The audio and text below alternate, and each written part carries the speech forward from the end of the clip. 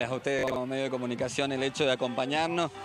Después de, tantos años, hoy damos comienzo a un año más de las colonias de verano 2023, las colonias de verano más federal que tiene la República Argentina, donde llegamos a los 19 departamentos, con más de 50 centros, con 25.000 sanjuaninos y sanjuaninas, entre niños y niñas, adultos mayores y personas con discapacidad, que llegan a toda la provincia estas colonias, buscando varias cosas, fundamentalmente la seguridad la seguridad mental de los chicos, la seguridad física de los chicos, la seguridad alimentaria de los chicos. En definitiva, son un gran equipo donde colaboran intendentes, donde colaboran por supuesto monitores, donde también colaboran profesores, eh, eh, equipos de, y proveedores de comida. Bueno, hay tanta gente involucrada que permite que cada año que pase podamos tener una colonia en paz, que los chicos puedan disfrutar y que en definitiva también haya igualdad de oportunidades para todos. ¿no? Bien, Lucio, comentame cuál sería tu balance de este 2022 en cuanto a todo lo que has trabajado.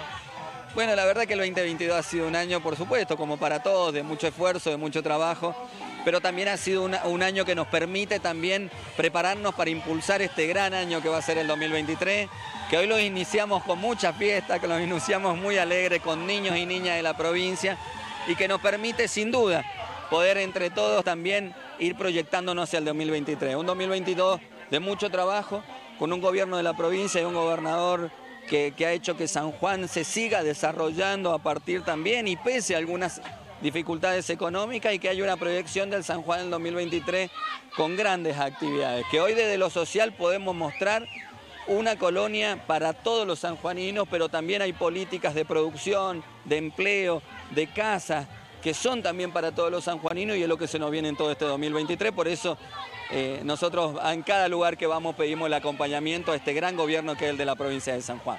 Ahora, como presidente del PJ de Santa Lucía, ¿cómo venís trabajando con Santa Lucía?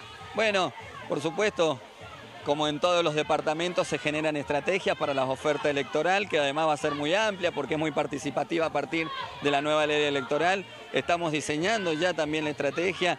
Seguramente en los próximos días estaremos definiendo también los y las candidatas que podrán presentar en el departamento de Santa Lucía un proyecto competitivo y que por supuesto sea afín a cada uno de los vecinos. ¿no? ¿Podemos decir que vos te vas a presentar como intendente?